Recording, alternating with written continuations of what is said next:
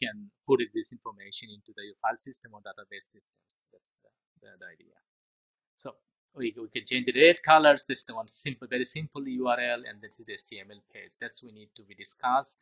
And this is our modify feature functions and clear and button. This is we can see the how can you edit features, and then uh, then the event functions. That's the event function and the content information. That's you are in the looking for the and here the event functions and then the position map positions and this is the drop down list. That's you exactly here. You got it here. The the information is a drop down list. So point line string polygon circle square box and so on so forth.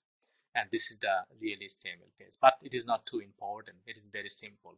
I already put this information into my my github. That's you can look for the github.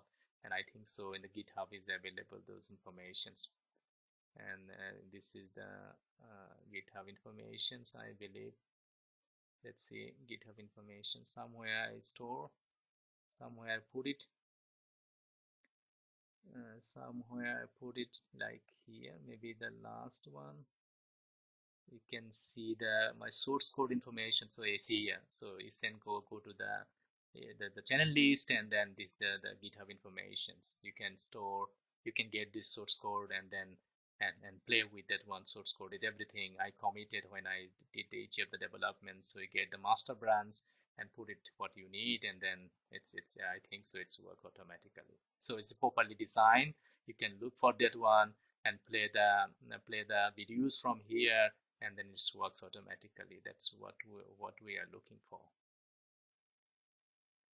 So that means uh, we okay we did the development no now so we need the components. So we have a drag and drop component. What do you like to name it? But this is the main, main base files to, to, to discuss with you.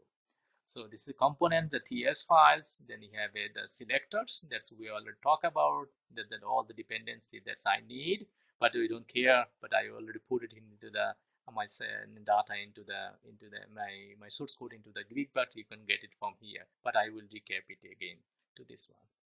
So you have a components automatically defined the selectors and then temple uh, temple URL and CL, CSS files. Then then you define your your projection system EPSG uh, 4, uh, 4326 is the standard one and then other projection and transformation systems and GPS based uh, transformation systems and 3857 so this is the standard transformation between these two projection systems so you define all necessary variables or instances.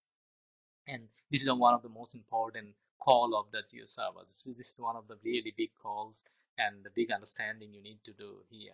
So many subscribers, many viewers, they have a lot of experience, but they're asking me a lot of times how can they call it um, very quickly or very efficiently the geo server functionalities and geo services WMS or WFS or WCS services into the your web applications. That's that's that's I try to that's I did it. So that's what that means when you have a geo application that I already show you the geo application the geo server is uh, you know it's not this is the geo server is running. You see the local host where the your machine is located the geo server is located then you 77 port and the basic url call and then which service you define and call it into the URL pages. That's the the basic idea. But you can get it really clearly the previous screencast. I already discussed more detail about that one so we have the GeoServer basic view, basic URL call, and I initialize it, and, and then I, I set the center of the my maps. I really dynamically set the variables where located. That means you can copy this source code and build your country application based. So just you need to be changed only the latitude, longitude, and that's what application automatically handle mm, automatically done. That's why I said it is it is really difficult to understand, but if you get it, if you are have some experience about programming or JavaScript or HTML or CSS programming or other Java programming or, or TypeScript programming or C Sharp or any any object-oriented programming, you can get it really clearly. So I have a one, one dynamic functions and then you set the coordinate points and then as a logging information, I have a like a new control mouse position control that's you already saw in the mouse position into the maps and then you have a little tile map call from the OpenStreetMap tile server the raster maps. So you have the raster raster OSM maps and then you have defined your vector maps. That's the vector sources that you store your uh, draw drawable or you draw and modifiable vector geometries, line, point, line, polygons, and then all things. That's used as you define your your location, you, you your, your space placeholder where then can when you draw it, where you put it this this information. So this is one of the most important. So you put it your all the uh, the your GeoJSON file that I said the, the static informations and your dynamic information that I'm looking for uh, the static information and dynamic information so you see the the all the countries in the across the world so you put it you know, all the the the countries across the world informations. So to see the how efficient it is. If you don't like to put it in the base maps then you can even though uh, even though delete the base maps the openstreetmap you can see the really pictures like that one. I will show you detail these informations when i and in, into the here. So you can modify also even those features and these these things together. That's that's the geojson file so this is the GeoJSON file is located into the asset data sets that you can define what any names. So you see that the GeoJSON files and then it has data sets in, in the data set like in data set like for Bangladesh GeoJSON files. That's I think I try to discuss with you about this one uh, discussions.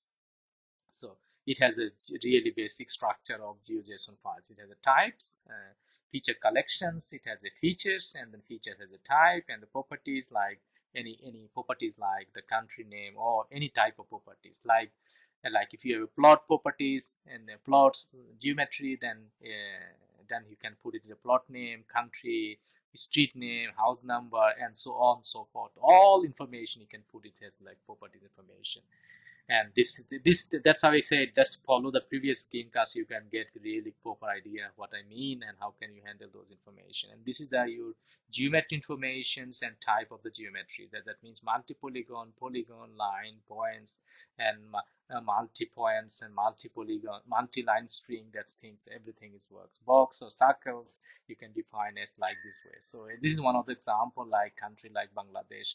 That's i that's i put it here json files and you can see the GeoJSON file into the into the your drag and drop functionalities and then and then you have a like the countries they across the world countries the GeoJSON file you see the all countries in the world there's in geometry information exactly the same that mean and the geometry and then so on and so forth and its coordinate points. And hmm. it is a this is my our own defined geometry that's your features or functions. Function functionality exactly the same structure. You have the types you have the features type features properties. You have a names and titles. You can go what you would like to do. You have more you can just put it more. Titles name or or, or, or country or soft subtitles or, or, or street names or, or, house number or so on and so forth depending who which geometry uh, what type of geometry which which attribute or which features or functionality you try to visualize into the maps. That's the, the idea. So geometry, I defined the, the line string geometry. That's you already showing then the polygon geometry and one of the polygon geometry and point geometry. That's I into the maps. That's I, I will show you here. If I try to drag and drop one functionalities is here so that I said this is the our sorry. So if you see that this this is the it is if I open the uh, if I if I open the files uh, okay no not here sorry. The explorer. Nah very bad explorer information. Uh, I try to open it in the into the into the file into the into the Google.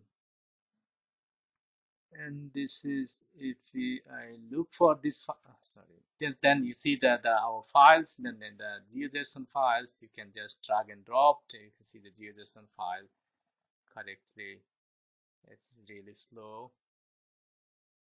You see the the pictures is here. So it's GeoJSON matrix.